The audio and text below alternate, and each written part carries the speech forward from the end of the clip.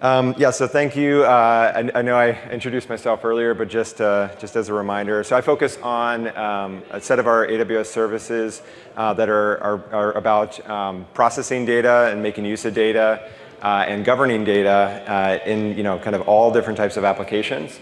Uh, one of the things we're going to focus on today, though, is really how generative AI is transforming the business and, and, how data is such a big part of, of that journey and what do we need to be thinking about when, when we're using data for, for generative AI applications. Yep. There we go. Okay. So uh, the, the, one, the, the, kind of first thing I wanted to start with is uh, what we talk to customers about uh, a lot, which is um, uh, data is the center of, of the universe uh, today uh, in, in every modern business. And, and, it is a shift in thinking about what is, where is the most valuable assets that, that a customer has uh, or a, a, business owner has in their business. A lot of times we think about customers as our, our most valuable asset or our people, and those are absolutely true. But data, the data that we have uh, available in, in modern business is really one of the key drivers for innovation and thinking about how you make use of that data and how you treat data as, a, as a, an enabler and a, something that can empower innovation is, is really a very important part of kind of thinking about how do you drive uh, your business in a, in a different way. and so uh, the, the, the, changes that have come about are really driven by uh, these new innovations in Gen AI. Gen AI. And so I showed the uh, earlier, uh, I showed the, the uh, kind of transformation of, of Gen AI uh, over the number of years. And really, Gen AI has reached a tipping point uh, that helps uh, drive forward uh, new innovations. And it's really based on a combination of things. It's based on a combination of new uh, compute capabilities. It's based on a combination of the ability to process more and more data. Uh, and it's empowering new experiences for customers such that are different than what we had before. So where before you might had uh, somebody who was uh, like a somebody who was working in a support environment, uh, very knowledgeable, knew where to go get all the data uh, to help a customer. That, uh, that person now can use a knowledge assistant, and that trained model knows all the different uh, data about a, a, customer to present to that support person on a support call before they even start the conversation. And so that tr- absolutely transforms the experience of, of customers when you have more and more data made available, but made available in a way that's very, very personalized and pertinent to an individual's customer's needs. And so that's the expectation now. And that's what we all have to be thinking about as, as um, leaders and, and business owners is our customers have a bigger, more kind of uh, higher level expectation about how their data is used and, and made available uh, to those, uh, to, you know, as part of those experiences. And so they'll expect personalized experiences. They'll expect that uh, when you make a call to a support center, that the uh, support person on the other line already knows all about you. And so how do we make that happen? And so, uh, just to kind of uh, kind of highlight some of the other uh, things we talked about. Obviously, earlier today you heard about Martin uh, from Martin at Trellix talking about how cybersecurity is transformed with Gen AI. Um, you know, we'll hear a lot more later from, from Mark uh, around uh, enhancing customer experience. Uh, but it, it's transformative across many different uh, parts of the industry. And you know, like uh, I, you know, I, I, spent a long part of my career as a software developer, uh, writing Java applications and Python applications, and looking at what I did in my career in the early days and what now they're teaching and talking to computer science students about is, is light years different. Now it's all about how do you use you know, trained coding assistants to help you do, write your code. Instead of knowing all you need to know about like the, all the object um, object-oriented programming and, and patterns for, uh, for building out applications, it's really how well you make use of, of coding assistants. That's going to be in all industries, in all of different walks of life. It's going to be how are you as an individual empowered by AI to do your job better. And so um, one, one more thing on the, the kind of growth of generative AI is I spent, uh, I've been in Amazon 16 years. Um, I spent seven years uh, in S3. And really the key thing here in driving this, this growth in, in Gen AI has been the, the massive uh, proliferation of data. And so when I was in S3 for seven years, it started out where we were mostly focused on archive and backup, and then it shifted very heavily towards data usage. And that, that trend's continued. And really then combined with the power of, of you know, modern scalable computing, it's really changed the way in which these models operate. Okay, and so let's look at a little bit about how that transformation and, and change has, has happened across uh, the, the kind of AI and machine learning space. So we started out originally, or we still have, models that are trained on a specific set of inputs and uh, are, are, targeted at a specific task. Uh, and that might be something like a, a translation uh, process or, or uh, even you know, some sort of very, very simple uh, kind of text generation. And the idea here is simple amount of data inputs and a simple output. Then we progress to deep learning, which allows us to have uh, a lot more variety of different types of, of tasks uh, that the, the trained model can, uh, can accomplish, but it's really still focused on a specific outcome. And it might be something like computer vision, recognizing objects. That's another example of where deep learning really kind of helped us innovate. And so then we come to foundational models and Gen AI. And the big difference there is that you have a wide variety of very general purpose data. You don't really constrain the type of data that goes into these foundational models. And so over that wide variety of data, the model is developing a way to reason about that data. And that reasoning then allows for very, very complex outputs. And so all of this comes together as an AI strategy. So you shouldn't think about how is my data powering my Gen AI applications. It really should be how uh, data is powering all of my AI applications. And so you, you will continue to use uh, machine learning models. You'll continue to use deep learning for specific tasks. And you'll also more and more be using these foundational models to really expand the scope of what, what you can impact uh, with AI. And so, the, and so here, data, uh, building a data foundation, that is core to enabling something like uh, the outputs that you get from uh, use of GenAI. And so really it's about connecting to a wide variety of data sources, providing all of these different types of, of uh, unlabeled data, feeding into your foundational model. That foundational model is figuring out how to make use of that data. And it then adapts and works towards developing uh, tasks and, and uh, capabilities to do things like text summarization, info extraction, question and answer with a human. All of these things come out of using a, a massive amount of, of, data. And so really the key here is you need to connect to your data. And so, and, and as I called out earlier, it's really not just about connecting to just a subset of data. It's connecting to as much of your data as possible. And so you have to think about data and, and kind of blocking and, and unblocking data uh, access is, the, is kind of the core part of the strategy here in making use, uh, best use of Gen AI. Okay, so there's three themes that I want to highlight uh, and then hand it over to, to Mark to talk in more detail about specifically how, how these things are applied at, at WorkHuman.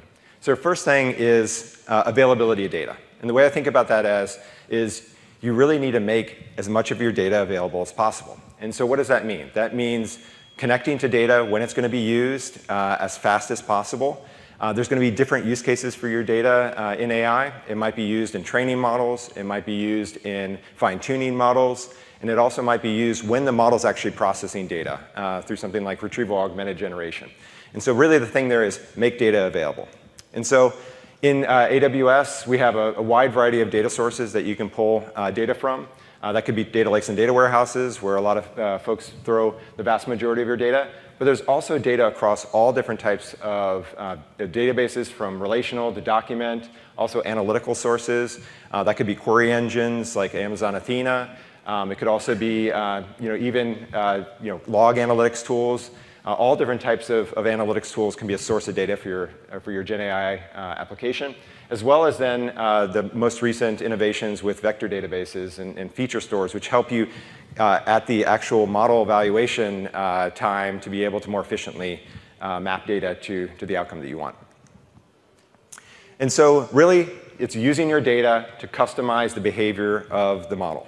And really, that means that you're going to be, as I mentioned earlier, using your data in different parts of uh, the model's lifecycle. And so you have the ability to uh, kind of change the, and customize the behavior of the model, but these are going to be different types of optimizations.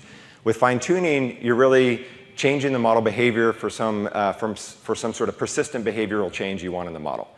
Uh, for for uh, something like re retrieval augmented generation, that's going to be able to, to take the latest and up-to-date information and inject it into the model's reasoning so that it can think about something like, this customer made a purchase last week. It needs to know information about that purchase last week. And so using something like uh, RAG to be able to inject that into the model evaluation is going to be essential. And then there's also going to be a need to continuously refine the model and train the model. And so in certain cases, you may be, you may be doing continuous pre-training on the model.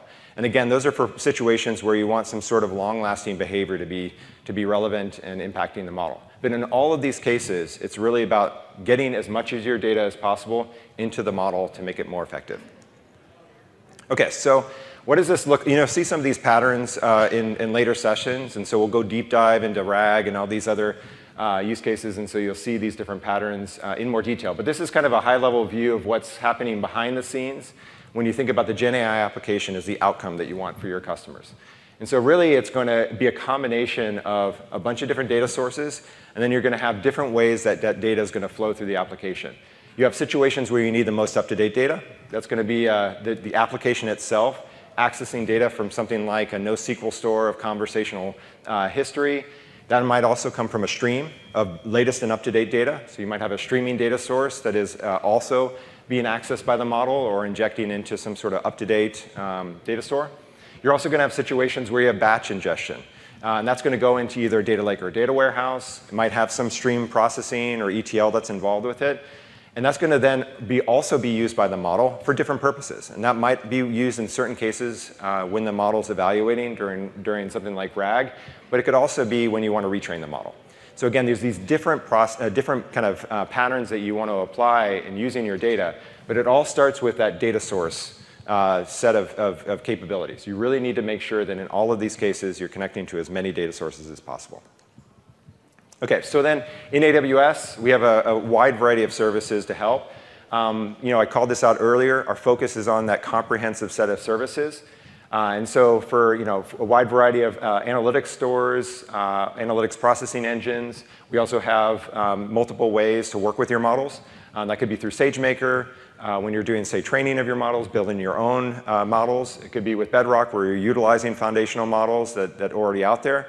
Most of our customers really are building on top of existing models, and so Bedrock helps you manage that and go through the process of, of kind of augmenting the model with your data as well. And then also the end goal. What's the end goal of, of using uh, Gen AI is the experience that your customers are going to have. And so we've plugged Gen AI into things like QuickSight. We've also got things like Q to help you build an experience that can take your customer's data and then make it available to your customer in an interactive uh, experience. And so all of this needs to be kind of has a baseline on, uh, on governance, and I'll talk about that in just a little bit. Okay, so what's the next theme that we need to be thinking about? And that's quality of your data. And so the, the key thing here is that when you have quality data in your model, it's going to protect you against things like bias and drift and, and challenges that you might have and how the model behaves. And so you need to be thinking about quality throughout the entire process. and so if you look at kind of what that, that flow looks like and, and where do you apply quality controls uh, as data is flowing through your system, you start with your variety of data sources, and then you will be uh, pulling that data in uh, either through something like uh, an ETL process uh, run by uh, Amazon AWS Glue, or it could be something like Data Wrangler in SageMaker where you're trying to prep the data regardless of where the data comes from, you want to have that mechanism to be able to, to enforce quality or guarantee quality. And so using tools that are built into the AWS services can really help there. There's also situations where you need to think about how do you get humans in the loop on data quality. And again, that could be th through something like uh, SageMaker Data Wrangler to be able to, to take a look at the data, reason about the data, and make sure that you have quality data that then flows downstream into the use inside the model. And so in, in thinking about quality, it's really important, again, to connect to, uh, you want to be able to have a solution that can connect to a wide variety of data sources, build consistent pipelines, reuse those pipelines over and over again, make sure those pipelines are checked in, source controlled, so that you have quality in, you know, built in and also consistency built in uh, when you're thinking about uh, how you kind of keep that quality uh, measure up to date. You also want to be able to have access and understand all of the data you have. And so you want to be able to include governance, uh, uh, discovery and cataloging into that solution as well through, through uh, tools like Glue Data Catalog or Data Zone. Um, and then also, it needs to scale. And so you want to focus on serverless capabilities because you don't want these, these data quality checks or other uh, mechanisms in your data pipeline to be a blocker for getting the latest and up-to-date data. And so you want to use those, the scalable uh, solutions that allow you to do that in a cost-effective way. And one of the ways, I mentioned this earlier, one of the ways we're helping customers is through making ETL simpler. And part of making ETL simpler is really doing the least amount of, of ETL yourself as possible. And that's really where we've uh, been innovating uh, significantly in what we call zero ETL integrations. And the idea there is ETL needs to happen. Data movement needs to happen. But it's important that that data movement happens in the simplest way possible. And so being able to do a one-click uh, uh, movement of data from Aurora to Redshift, uh, and then we're also focused on many other different data sources.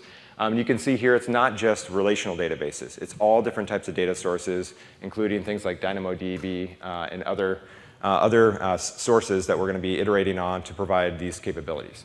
And Zero ETL is also about connecting to data. And so using connectors, federated queries, these are all strategies that you should be thinking about and making use of, of all of your data across all of the different uh, sources. Okay, so the last thing I want to talk about is the protection of your data. And the idea there is protection isn't meant to stifle the use of data. It's not meant to, to lock down the data. It's really meant to make sure that at each stage you have governance and protection over how the data is used because you still want the data to be used. You just want to make sure it's secure, it's maintains security and it maintains its protection and, and uh, throughout the, the entire data pipeline. Okay, so in AWS, we have a wide variety of different tools to help you with uh, in, in kind of governing your data throughout the, throughout the pipeline. We have Glue, uh, as I mentioned before, to ensure data quality and cataloging. Really, what that means also is that you, you have consistency in the tools that are processing the data and applying those permissions and, and governance controls throughout the pipeline. You have Lake Formation and Data Zone. Um, we've you know, recently seen a significant amount of, of growth in customers uh, you know, building out data meshes and, and trying to figure out how to collaborate and share data across the enterprise. And that's really where Data Zone and Lake Formation help, is that you need to know what data you have, but you also need to have a process by which you, you collaborate on data. And so Data Zone can help with that as well. And then on the, you know, if you think about the other side of, of data usage, uh, beyond just the data sources, you want to make sure that you have governance in how the data is used in the model and in the processing of, of the data uh, in the GenAI application. And so really, SageMaker governance uh, is another set of tools to allow you to do that, as well as governance provided by Bedrock. And so really think about it all the way from the data sources, the data pipeline, all the way to the application itself, that you want to be able to use all the tools and capabilities to apply governance. And then finally, part of governance is also understanding where your data is being used, auditing your data. And so you really need to be able to, uh, to, to, have traces, logs, all of these different data sources of how your data is flowing through the system, how your data is being used by uh, your GenAI application. So making sure that you're focused on enabling these events, these CloudWatch logs, um, all of the different traces that are available from the services that are making use of your data, such that you can then um, utilize the tools that we have like CloudTrail and um, CloudWatch to be able to do alerts, to be able to, to, to kind of investigate um, data usage. And so really it's both a, a, combination of the data sources for, for logs as well as then the, the solutions to be able to process and reason about your, your, uh, the usage of your data in an uh, AI application. And then finally, there's an overall kind of encompassing area of being responsible in, in driving your AI applications. And so there's different ways to frame uh, responsible AI, but it's really about a wide variety of different services applied at different stages. And so you can kind of think about all of this coming together in be, uh, your, your AI being responsible with the data that it's, that it's using, being responsible about how it interacts with users.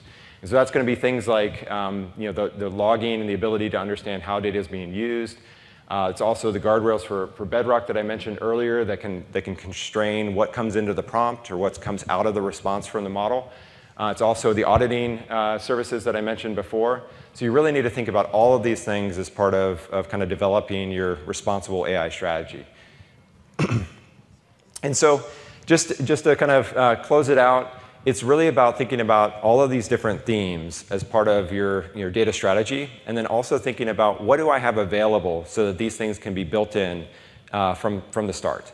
And so think about this as part of uh, you know, uh, using our, our, all our set of uh, AWS services that I mentioned earlier, our comprehensive set of storage services, query services, where these things are built in. Use the pipeline uh, capabilities we have through Glue uh, to ensure data quality, and then also use the governance capabilities at all levels uh, to ensure protection of your data. Great, so uh, I'd like to hand it over to, to, to Mark uh, as, as next to talk more in detail about how WorkHuman has applied all these, uh, all these uh, different aspects into their data foundation and their data journey. Cool.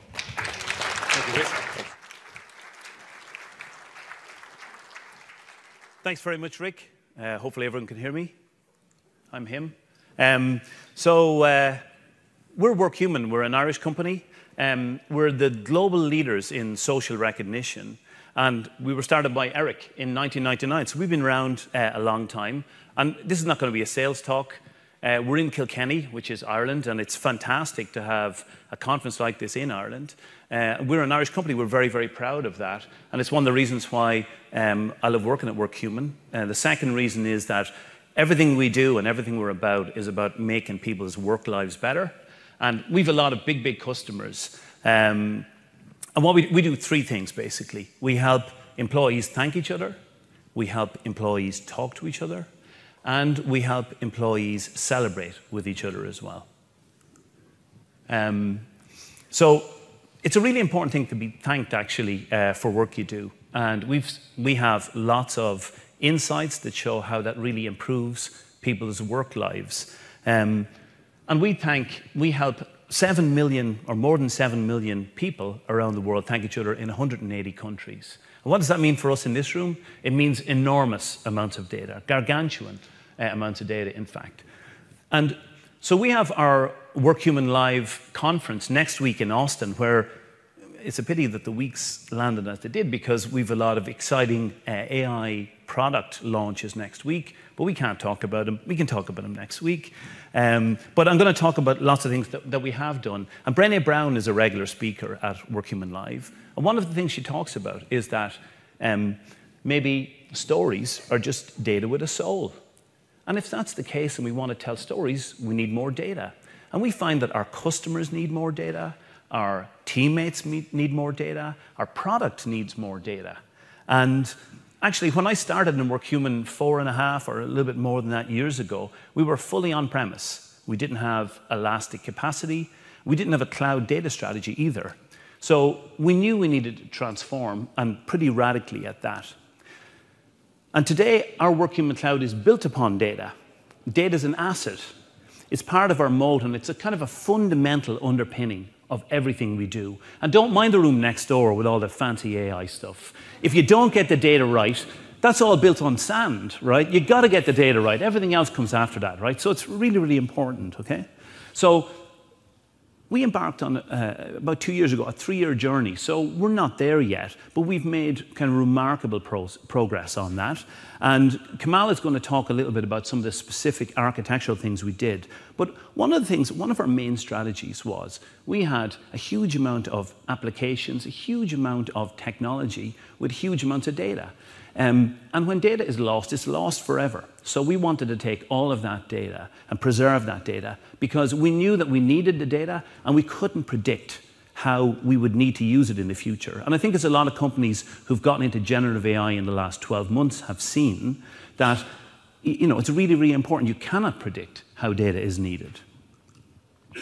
So how do we make such a radical transformation? Um, well, I'm going to talk about eight primary lessons that we learned. And it kind of doesn't matter where you sit in an organization, whether you're an intern, whether you're an engineer, whether you're the CEO reporting to the board. There's a lot of things I think that people can, can maybe learn about our journey and how we were able to make this transformation, how we we're able to begin. So, the first one is tell a story.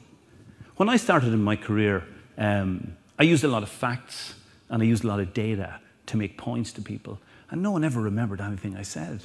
And maybe I just wasn't very persuasive. But one of the things that I realized was that it's stories that really inspire people to, to make changes and, and to move with things, okay?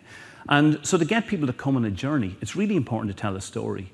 And the story has to be believable, and it has to help maybe solve a problem or show a brighter future.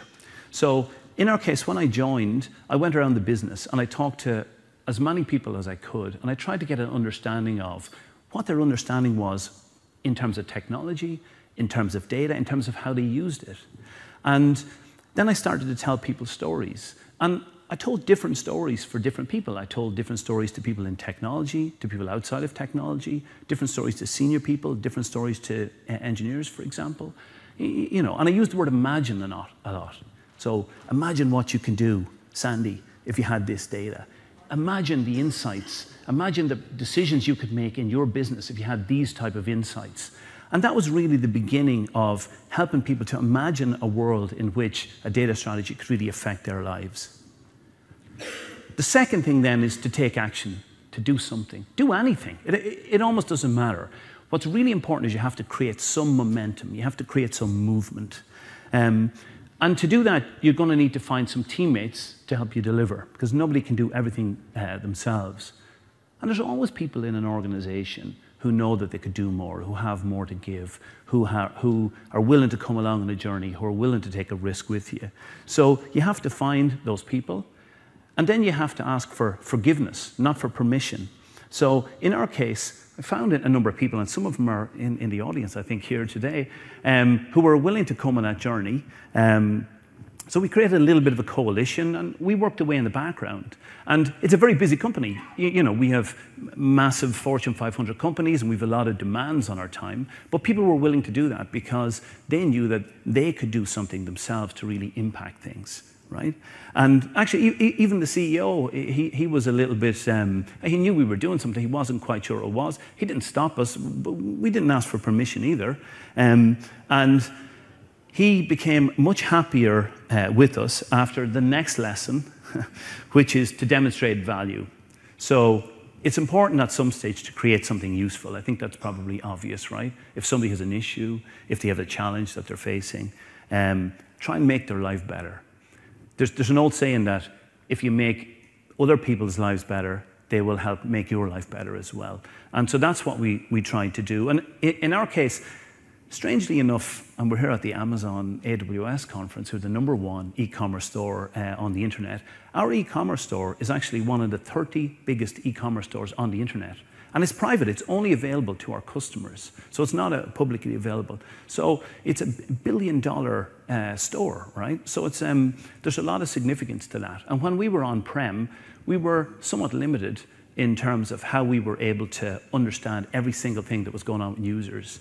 But one of the things that we were able to do, in fact, it was two things we were able to do. The first thing was, as we went on our journey in the cloud, we were all of a sudden able to give our data scientists almost unlimited capacity to scale their, their training and to scale so that they could generate much better insights. And we were also able to join disparate sets of data with unexpected insights, unexpected results that we couldn't have seen before because we were limited by our capacity. Now we were only limited by the checks we signed to our friends at Amazon. Um, but but that was a big that was a big step forward for us because all of a sudden we were able to show demonstrate real value to the company to make a real difference. And so that really helped cement this journey as something that was important to the company.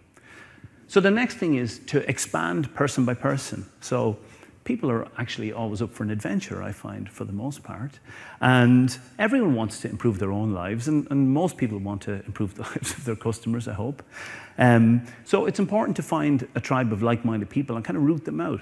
And that's what you have to do, kind of almost person by person. That's what we did in, in the organization. We had a lot of people who were interested in data. We had a lot of people, even outside of technology, who were interested in data and how to use it but they didn't really know how to get started. So what we were able to do is bring those people together, create that sense of community.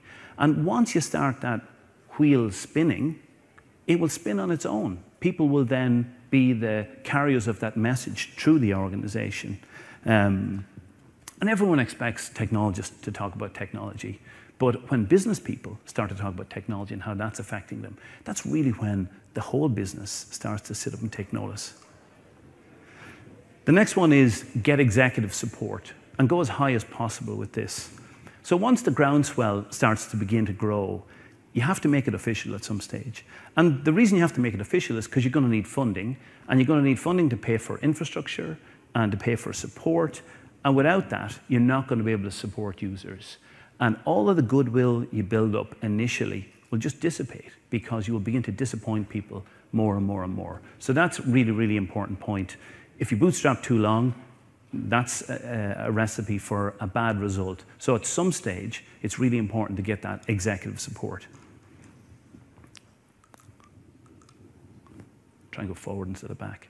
Lesson six, uh, bring in experts to help. Um, so we, we, brought in experts. Um, we had great support from, from AWS, of course, and they came in and helped with a lot of consultancy and advice They did some labs with us, and they were always great to sanity check and to offer support and help. Um, I often say as well that when you're embarking on a kind of a new technical journey, it's important. A, a beautiful way to, to set up a team is to have internal experts in the business and internal experts in the technology that's inside the company, and to bring in external experts who are experts, I'm using expert a lot, uh, who are, who are uh, very experienced in the new technology you're trying to work with. And in our case, we brought in two companies, a company called Spark HQ, Irish company, and a company called SoftServe. And they worked together with us. And we were able to learn from them, and we were able to then pick up a lot of the techniques and a lot of the lessons that we needed to be able to really bring forward what we, what we needed to do. Um, lesson seven uh, do good work and tell people you do good work.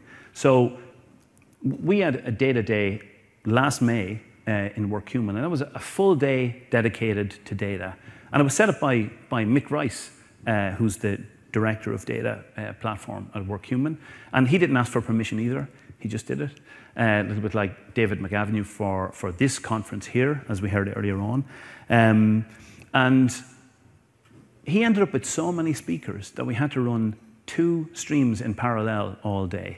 Now, from where we'd come, say 18 months before that, where we didn't really have a data strategy, um, to having a data day for the whole company to turn up in and to, to participate and to learn more and more about data, that's an enormous step forward. It was a big marketing tool, but it also showed the level of interest that had been built up by some of the excitement that we'd, that we'd shown and some of the work we'd done. Um, Data is actually now part of our strategy. I said it's a differentiator. It's, it's actually reported to the board now, so it's, it's part of our company strategy board. So it's absolutely vital, vitally, uh, is vitally important and it's part of our competitive differentiator. And lesson eight, there's always more to do. There's always more to do. Um, technology changes, the business changes, and just, you know, generative AI is going to change business now business is going to adapt to that, then some more technology will come along and change, and business will need to adapt to that again. Um, you know, and I mentioned early on with AI, you know, getting the data strategy is, is really, really, really important. Um, the other thing that's really important is enablement, and say for data particularly, is data literacy. So to push that enablement through the organization as well. If you create a great asset, like a really strong data asset, it's important that people are literate and they need to be able to use it. So this is called WorkHuman IQ. So, um, and this is, I, I, think, a really great example of how we use data to give companies a full health check of their organization. And uh, at, at, first glance, you, you, might look and might think, well, that's just a, a UI uh, on top of some data, but, but that's not what it is. This is value. These are unbelievable insights. No other company in the world, I think, has access to data like this. And if companies really believe that people are the most important asset a company has, well, then this should be one of the most important things that executive leadership and leadership and people at every level in an organization should be looking at. How is my culture? You know, what's my are there what's the linkages between between teams? You know, are these people talking to each other? Are people getting shut out? You know, how do I have schisms? Do I have divides in there? And this is, you know, the culmination. I think we have been in um, We've been working in AI actually for 10 years. And, and, one of the things Rick brought up earlier on, which is a really, really interesting idea, is AI is not just generative AI. It's deep learning, it's machine learning, it's all of the tools that are available through the AI stack. And so we've been doing this for a decade. So we have a lot of expertise in, in AI. We've built a, a, a lot of things on this. And we can use these insights to really help drive change and really change people's work lives for the better. This is, an, uh, this is called Inclusion Advisor, and this is something that companies are always blown away by. Because we have, since 19, so 25 years expertise at looking at how people communicate to each other, both in private and in public, uh, around recognition, around job performance, around these type of things, we have built uh, a huge amount of, of models and a huge amount of uh, intellectual property around how people communicate with each other. And what this is, is if you say you want to thank somebody like Johanna here for uh, some work that, that, that was done, um, and you use language like, you know, coming in on weekends or on holidays, this looks at microbias. Now, at first glance, it looks like, okay, it just corrects the, you know, so that you're using um, language that's more appropriate. But actually, what this is doing, it's training the people to work in concert with the values of the company. So it, it trains people over time as to what's acceptable and what's not acceptable, right? Um, and there's another example here, which, you know, my, my secret weapon, uh, right? So, you know, like a personal favor. So this is really, really important. But these are models that we've built up over years, and companies are, you know, massively, massively uh, interested in this. You, you, often hear about biased data where um, AI can be a problem, but here's a great example of where AI powered by data can be really be a force for good. Okay, so so there we go. Th that's basically tell a story. Um, make sure you're demonstrating for some value uh, put something up there that, that people can, uh, can use, get some budget, get some money. Always money's important. Um, do good work, tell people you're doing good work, and there's always more to do. Um, and I'll probably put a write up uh, on my blog about this next week with some suitably bad jokes, is what people usually tell me about that. And, uh, and next, I'm going to hand over to my, my very talented colleague, uh, Kamal Sampathkumar. And Kamal runs uh, the data architecture uh, group in WorkHuman, and he's going to talk a little bit more about some of the architecture specific things we've done. Thank you.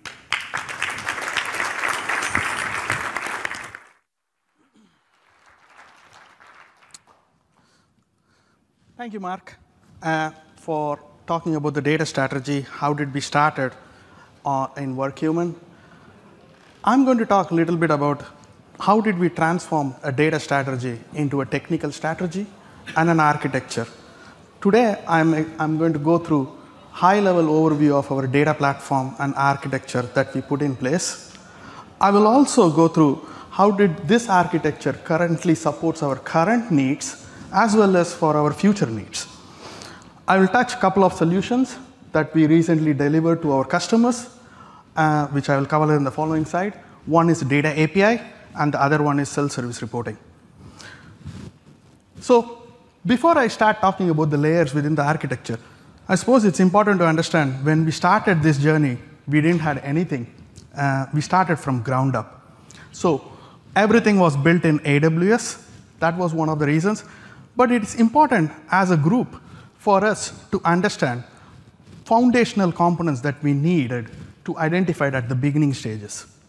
We also wanted to identify what layers should we build in our platform, how the data should be flowing from source to customer. These questions, when we asked, helped us to create and formulate what layers we need in our platform. So we ended up with four distinct layers in our platform. They are extraction layer, curation layer, modeling layer, and consumption layer. I will go each one in detail and give you a high-level overview what it does and how it leverages purpose-built AWS services. Extraction layer. This primary responsibility of the extraction layer is to extract the data from various sources both internal and external. As you can see from the diagram, we deal with many data sources. And, and, and they are broadly categorized into three areas. One, product-related data. Two, back office data. And three, operational data. So for, the, for, for these three data, we have to leverage AWS services such as DMS to bring relational data store. EMR for bringing API-based solutions like third-party systems. And we used a combination of glue. We also built a generic ingestion framework, which complements the extraction service by interacting with AWS ingestion service through configuration. The benefit of doing that is it helps us to bring the data at speed, which is critical, as Mark mentioned earlier, turning the volume, turning, bringing the data and delivering the business value. So it's important for us to, to, to design a framework that allows us to bring the data at speed. I'm going to talk a little bit about the curation layer, the next part. This layer acts as the data refinery. This is where the data gets cataloged, the data gets validated, it gets cleansed, it then consolidates the data into a prescribed format that is ready for analytics and reporting. So we transform the all the ingested data into a consolidated format that is Parquet that we consider as a standard format. And moving on, modeling layer. This is, the, this is where the actual magic happens. The data transforms from source confirmed data into business confirmed data. So we use combination of DBT, leveraging Redshift and Spark to model the transformed logic. What this helps us to do is basically to deliver the business value from the source data to insights that just Mark talked about earlier, showing the WHIQ application, for example. That requires quite a lot of detailed transformation that we needed to do. So how do we do it at scale? So we need to establish some standards within our modeling layer. Every analyst and engineering engineers should speak same language. They can express that in SQL, and they can run it depending upon the workload, either in Redshift or in Spark. We also have a structure. All source data are mapped into a base model, and then they are grouped into a domain model based on the product feature areas. Then they are transformed into a core model, which is then surfaced to the consumable layer. The last layer of our platform is consumption layer. The consumption layer is the layer through which we deliver data to the end users. There's many elements in that. I'm going to touch a couple of them. One is the data API, which allows our customers to consume the data dynamically. And then we have QuickSight, which allows the users to consume through a business intelligence tool. And we also have exciting uh, work that is going on behind the scenes, and it's going to be announced next week, which is Gen generative AI.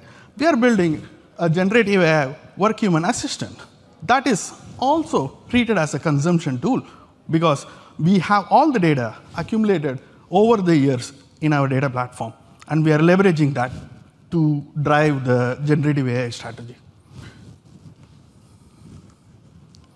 So moving on, how did we realize the value of the data platform? We have invested for three years took us to build this robust architecture. With our platform, data is consumed in three areas. Internal users, product, and customers. I'm going to talk a little bit about two solutions that we have recently launched. One is Data API and a self-service reporting. Both of them are targeted towards our customers, and they deliver value and has a profound impact to our customers. Let me dig a little bit deeper into a Data API solution. So before I go into the solution and walk through uh, at a high level, I want to give you guys a context on what was the challenge we were trying to solve. Customers have their own data platform and needed their data to be integrated into their analytics platform in an automated way. They wanted to interact with an API similar to a SQL interface. For example, they want to provide how, how the filtering should happen, what data they need, what file format they need to download. So we took this as an opportunity and to add a new consumption capability to our platform. And we called it as a data API. This allowed us to move from our traditional file-based legacy applications that were delivering static files to SFTP servers. And this also created an opportunity from the business point of view to have a B2B solution delivering a bulk data API to deliver transform data models from our data models to our customers. Let me go through in detail how the overall solution operates. The overall solution is an asynchronous operation. Data feed generation is done asynchronously. It has three distinct endpoints. One is create, next one is to poll, next one is to retrieve data sets. So let me go a little bit on the, the, those functional, how does the function operate for those three endpoints. Create one. It is responsible for creating a data set. Once the client application is authenticated, then the request is taken into our platform, and then a functional check is carried over to verify whether the caller's identity is valid to execute a data generation process. And then it needs to map to the underlying data model. What is the data set request and how does it need to be translated? The processing also translates the API request into equivalent unload SQL statements, which then delegated to Redshift or Athena API to unload the data back into S3. The second function, sorry, I jumped on the slide. The second um, function uh, of, the, of the API is to poll. Because it is an asynchronous job, the client application need to poll to understand whether the job is completed or not. So it's just a simple polling status and gives you whether the job is completed or not. And the third one is to retrieve the dataset. The retrieve dataset is through which the client application can download through S3 pre-signed URLs. So at a high level, this gives us a generic way of delivering multiple data feeds to our platform. And the real benefit to our customers now is basically they can now get their data in real time in an instant manner and in a dynamic way. The next solution I'm going to talk a little bit is we recently launched uh, a new self-service authoring and reporting capability to our customers. As like I want to mention about the challenge before we talk about the solution. So our product offers capabilities to our customers through reporting capabilities as static reports, primarily through pre-canned reports. And the major drawback of a pre-canned report is the data is static. It's not dynamic. Customers can't customize it. They still see the static interface. If they need to make a change, they have to put in a request to us, and we have to develop a software and deliver it. This whole cycle is, is, is, is, is, is taking longer to reflect. So we looked at our, our data platform, and we looked at how we are consuming data internally. We are consuming transformed data models through a QuickSight interface and we are sharing that with internal business users. The internal business users have an ability to further customize and share it with subset of their users. We looked at that and we looked at that as an opportunity to see how we can customize it and reuse the solution. So to reuse the solution, we, we, we thought about using QuickSight's capabilities one of the things that we wanted to um, use was how do we do it at scale? How do we do it at securely? And how do we do it at a, at, at a rate that we can turn it on for 500 plus customers? We focused on four areas. Area one was security, and security was handled by QuickSight's namespace. We were able to isolate users and groups and provide a multi-tenancy solution using QuickSight's namespace feature. Customizable analysis. We used QuickSight templating API mechanism to create customer, custom copies for each customer. And we also allowed embedded QuickSight featuring and authoring capability to deliver an in-product experience. So as a result of the overall solution, we have a seamless experience that we are delivering to our user through our product a complete authoring experience and a viewer experience. And this solution is going to be turned on uh, for all of our customers by end of May. Mark mentioned the volume of users that we have, 7 million users on the platform. And we are going to, out of the 7 million, there's going to be a million users who are eligible to, to work on reporting and authoring capability. So the impact is going to be broad. So the whole solution is going to be scaled up to variety of customers. Uh, so I'm going to wrap it up with few key principles that followed through our journey. We established layers in our, in our data platform architecture, and that allowed us to clearly define the purpose and the responsibility of the each layer. We applied standardization. We standardized data models by applying modeling practices. And everybody speaks the same language. We adopted lakehouse design pattern and ELT approach. That allows us to flex so that the future use, needs of the data use cases that we can address. And flexible. Our architecture was flexible to adapt any AWS ingestion services. As you can see, we have used many of the capabilities that AWS have provided. And with that, I will wrap it up. Thank you.